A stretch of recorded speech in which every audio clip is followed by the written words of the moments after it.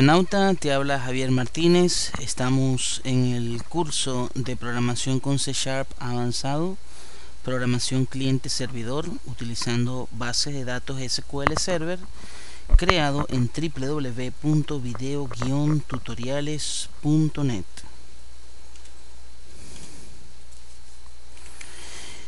Bien, cibernauta, ya te habrás podido dar cuenta en el video pasado video número 10 qué fácil fue traernos desde mm, el formulario de búsqueda rellenar una tabla enlazada con una clave foránea. Ok eso lo hicimos acá en el registro de vendedores. Aquí lo ve verdad entonces aquí colocamos solamente creamos acá un método de nombre get productos vendedor. Hicimos las respectivas modificaciones ok y lo llamamos desde el formulario. Modificamos acá nada más acá en el formulario la clase aquí en este caso seleccionar que era data table de productos y data grid view 1 data source enlazándolo a DT productos. Te das cuenta entonces qué sencillo es muy bien. Vamos ahora ya en este video número 11 a ver cómo podemos hacer para crear un reporte ok para ello vámonos aquí un momentico al cuadro de herramientas y vamos a añadirle a este formulario un menú colocamos un menú strip. Claro también puedes colocarle un botón ¿no? en este ejemplo vamos a colocarle un menú. Vamos a colocarle aquí archivo por ejemplo y aquí reporte. Muy bien. Entonces esta es una aproximación de lo que queremos ver con el Crystal Reports que vamos a profundizarlo un poquito más en la aplicación de prueba que vamos a hacer en el transcurso de los próximos videos. Entonces lo que hacemos es ubicarnos aquí en reporte verdad y acá donde vamos a hacerle doble clic y aquí en esta parte de acá es donde vamos a comenzar a escribir el código. Por los momentos tenemos eso allí. Ahora guardamos control S. Vamos a ver cómo añadimos un reporte clic botón derecho sobre el proyecto y vamos a agregar. Le decimos nuevo elemento. Muy bien cibernauta en este video número 11 vamos a crear un reporte parametrizado. En el video siguiente vamos a crearnos, vamos acá a sentar las bases de nuestro reporte parametrizado y luego en el video siguiente vamos a crearnos un formulario nuevo que va a ser como nuestro preview, la vista previa de este reporte. Entonces, marcamos donde dice Crystal Report aquí le cambiamos el nombre. Vamos a colocarle aquí reporte vendedores.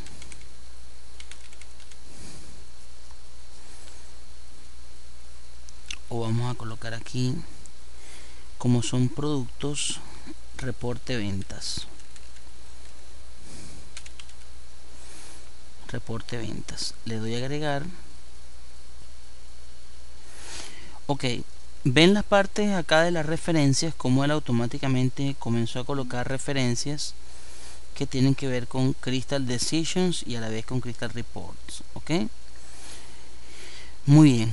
Aparece el, la galería de Crystal Report que esto es un asistente ok si vienes de Visual Basic ya debes estar familiarizado con esto no vamos acá a crearlo para los colegas que no vienen de Visual Basic y ver cómo lo podemos llamar desde C Sharp porque estamos trabajando es con C Sharp.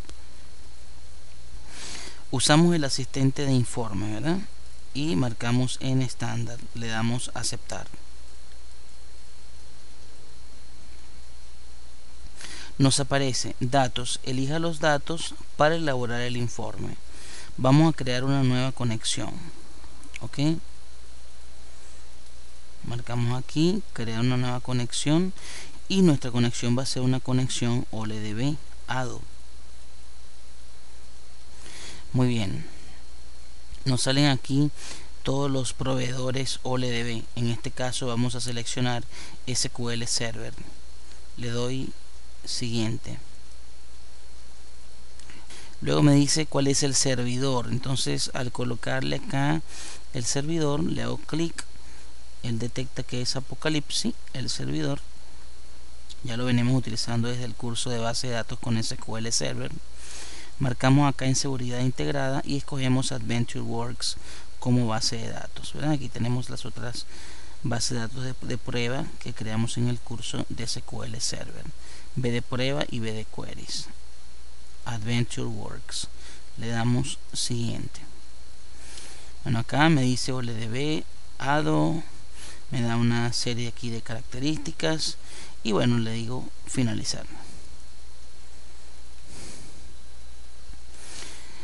Como te puedes dar cuenta ya se estableció una conexión acá que es AdventureWorks ¿verdad? y aquí tenemos las diferentes eh, características que tiene AdventureWorks las diferentes tablas. En este caso voy a seleccionar una tabla en purchasing tenemos tablas y tenemos vistas ok vamos a trabajamos en el video pasado con product vendor y con vendor. Esas son las dos tablas con las que hemos trabajado. Como queremos un reporte parecido a lo que tenemos en la cuadrícula vamos a seleccionar product vendor y lo pasamos hacia acá aquí tenemos entonces a product vendor y le damos siguiente. Aquí tenemos los campos ok entonces ¿qué necesitamos aquí en estos campos? los campos que voy a mostrar. Bueno necesito en primer lugar el product ID necesito el vendor ID necesito el standard price el last receipt date el min order quantity y el max order quantity. Estos seis campos son los que tenemos en la cuadrícula cuando vemos los registros de vendedores. Ok le damos siguiente. Ok acá no lo voy a agrupar ok le digo siguiente que se voy a agrupar no esto es opcional le doy siguiente.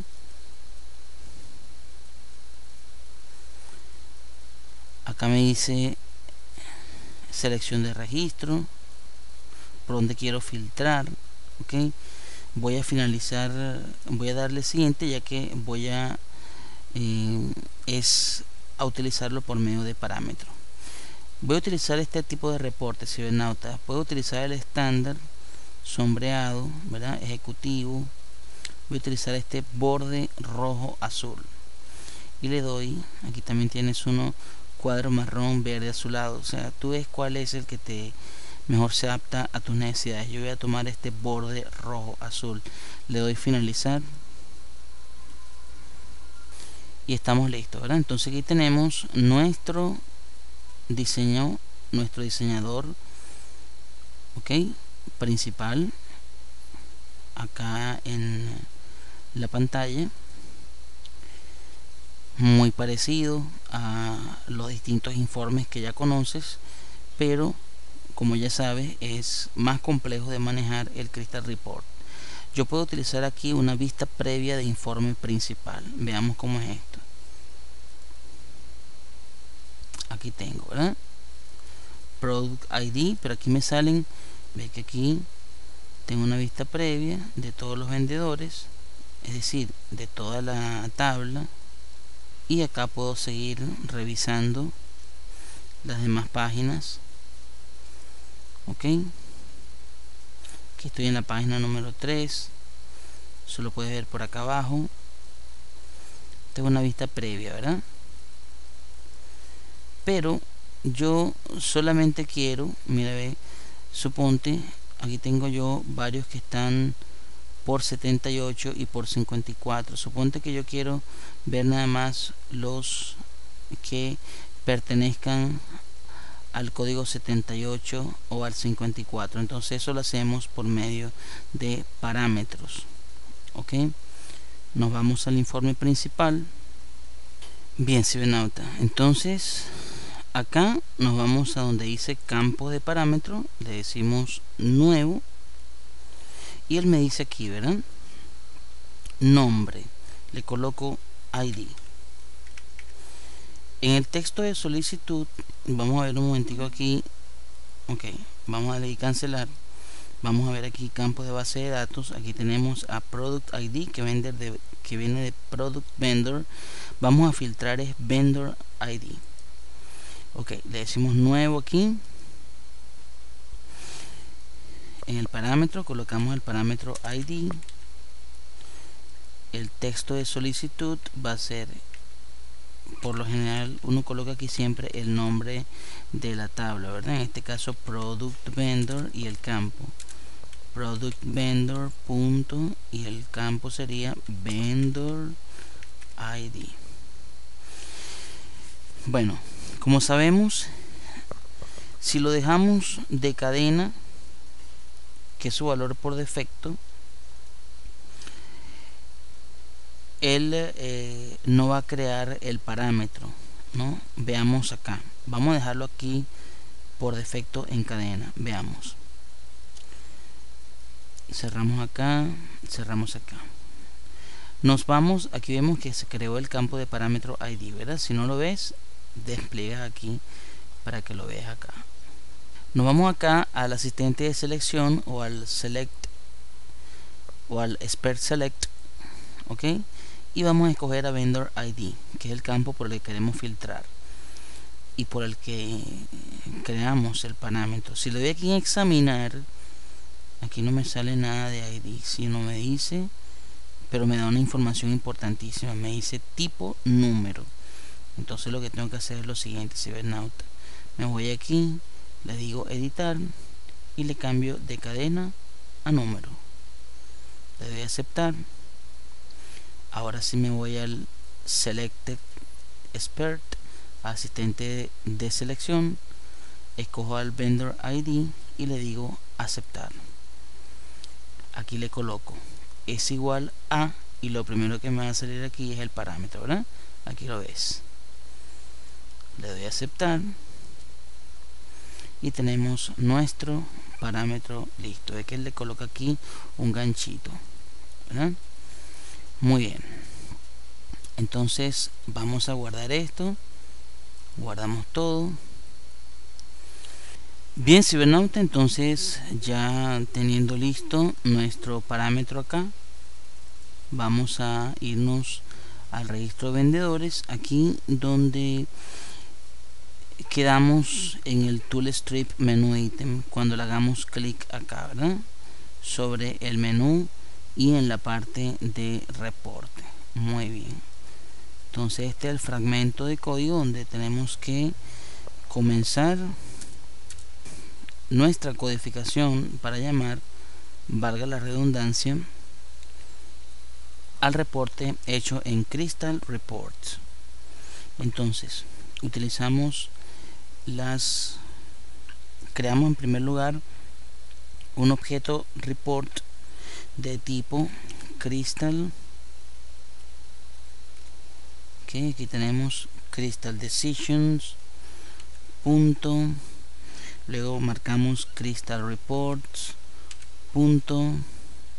Luego marcamos engine punto. Y luego report document. Report document. Colocamos acá la variable que en este caso vamos a llamarla reporte. Y le decimos es igual a new. Y aquí tenemos nuestro crystal decision.crystalreports.engine.report document. Esto es lo que vamos a colocar pero con paréntesis paréntesis para crear el objeto reporte ok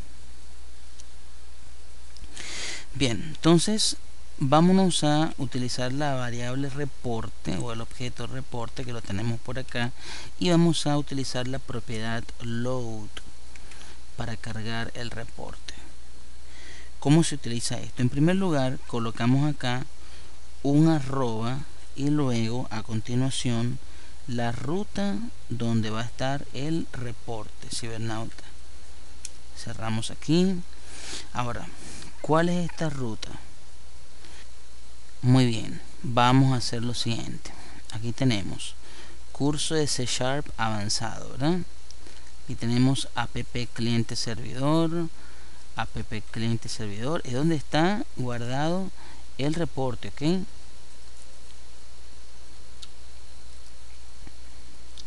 entonces vemos aquí está informe ¿verdad? Crystal Report. Entonces esta es la ruta. Copiamos y la pegamos acá. Una rayita más y le ponemos el nombre del reporte que es reporte ventas como lo ves aquí verdad punto rpt ok muy bien. Nos faltaría entonces lo que tiene que ver con el parámetro y el código.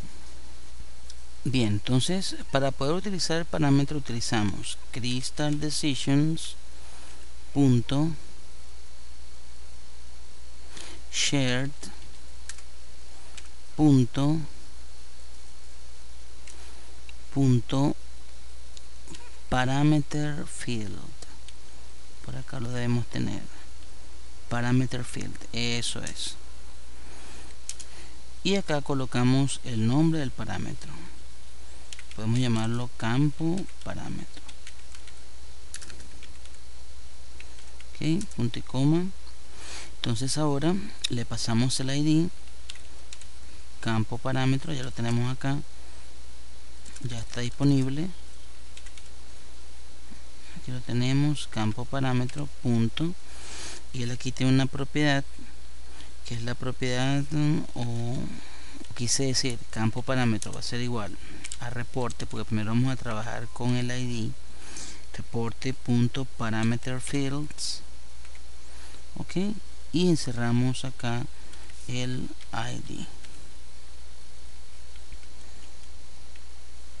punto y coma listo ¿verdad? entonces por último hacemos campo parámetro punto colocamos current values punto add value y dentro de paréntesis le colocamos el código campo código ¿verdad? aquí lo tenemos código muy bien. Entonces esto de quizás veas acá un poquito enredado complicado. Esto es lo mismo para todos los reportes que tengas que usar utilizando parámetros. Entonces lo que hay que hacer es aprenderse eh, la parte del código cómo se crea primero el objeto reporte después utilizar la función load después eh, definir el campo parámetro asignar el valor del id y luego el asignarle código que es por donde vamos a trabajar con nuestra variable. Vamos a guardar todo cibernauta y en el próximo video vamos a pasar a desarrollar el formulario que nos va a permitir trabajar con la vista previa de este reporte será entonces hasta el próximo video